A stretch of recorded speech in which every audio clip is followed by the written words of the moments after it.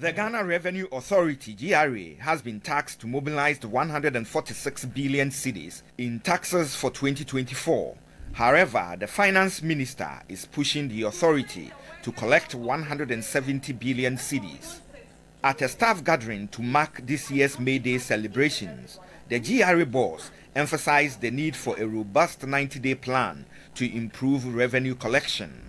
And revenue growth is fundamental to the 90-day plan. Uh, staff welfare is fundamental because, after all, it's our staff who are collecting the revenue. Staff welfare is important. How the citizens of Ghana see GRA. What is the face of GRA that they see? Uh, whether we harass or not, perception is reality. So it's up to us to change that perception. How do we change that perception? It's collaboration, it's tax education, and it's making our citizens feel that we are partners. She highlighted taxpayer engagement to improve compliance.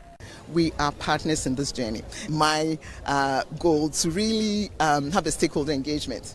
Um, who are my large taxpayers? How do I engage them? How do I work with the mining industry? How do I work uh, with the Bankers Association? How do I work with telcos? But how do I partner with my large taxpayers? And we have 90 days to actually um, really leverage that platform. The GRA Workers Union, through the national chairman, Theophilus Ehun, called for a national tax dialogue to promote and inculcate tax-paying culture in the citizenry.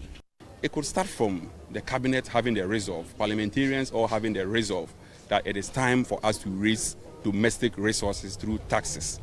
I gave an example of incentive um, package when it has to do with payment of taxes.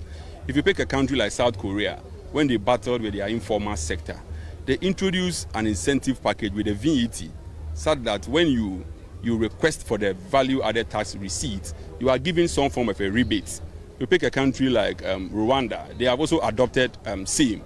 So we recommend that if we decouple the incentive package to the payment of taxes, especially for the informal sector, it will be a wild good chase.